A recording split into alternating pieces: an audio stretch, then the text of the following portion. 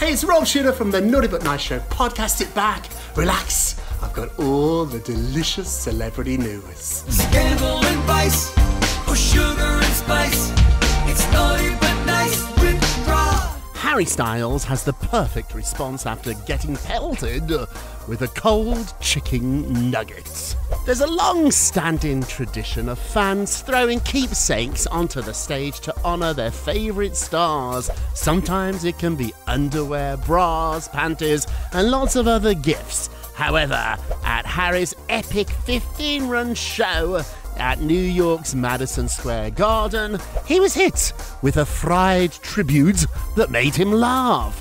He said the following quote Very interesting, very interesting approach. The unflappable singer said as he surveyed a few pieces of fast food that had been lobbed at his feet.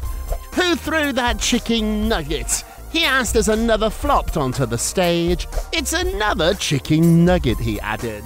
And although Harry is known for being really chill, really, really amicable in nature, when fans began chanting, Eat it, eat it, eat it, Harry declined for health reasons, saying, quote, I don't eat chicken, sorry. Harry, it makes us love you even more. It's naughty but nice with Rob. Thanks for listening. It's good tea, isn't it? If you want even more, check out my podcast, Naughty But Nice with Rob.